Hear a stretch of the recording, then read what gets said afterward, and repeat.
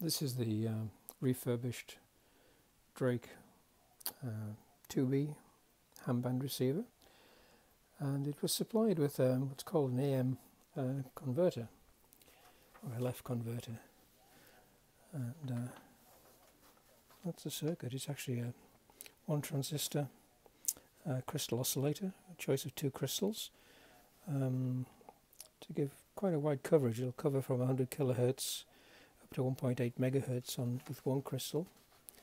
And then uh, will go from 1.8 megahertz to 3.5 megahertz with the other crystal. And both crystals are supplied.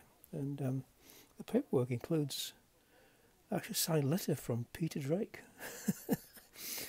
Dated November 30th 1966 um, advising that the crystals cost five dollars each that's interesting anyway I didn't think it was working then I looked at closely at the schematic um, and the the calibrator socket it plugs into, uh, somebody's made a homebrew crystal calibrator which works perfectly, no problem at all. Um, but it plugs into the, uh, the calibrator socket, you can see it in there.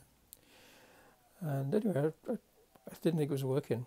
And I tried to open it up and I, I couldn't, I thought it was going to damage it, so I didn't, didn't bother. Anyway, once I'd got the um, the receiver working properly and all tuned up, I thought I'd have another go. And I close looked at the circuit diagram. And of course, the, the calibrator power, which supplies this LF converter, is only on when the calibrator is switched on. I hadn't got the calibrator switched on when I tried it before. Anyway, plugged it back in, switched the calibrator on, and away it went. So it's now receiving on the broadcast band on the broadcast band. No problem at all. Switch the calibrator off and it goes dead. It's just receiving on the 10 meter band. So this actually uh, down converts the, um, or up converts the signal from uh, the broadcast band to the 10 meter band uh, with a 29 megahertz um, oscillator and a, and a, balanced mixer.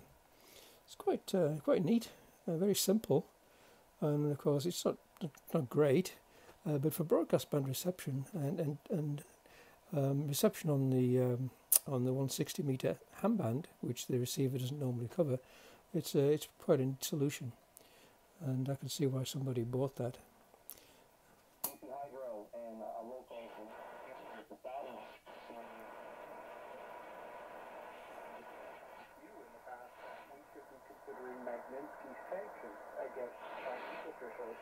For their treatment of the two Michaels, Mr. Colbert and Mr. Taver, who were taken as.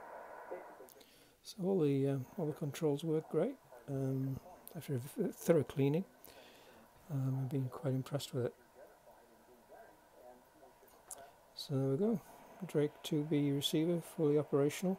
I was receiving some uh, ham stations on 20 meters a little earlier, just on a, a mag loop, and it was pretty good.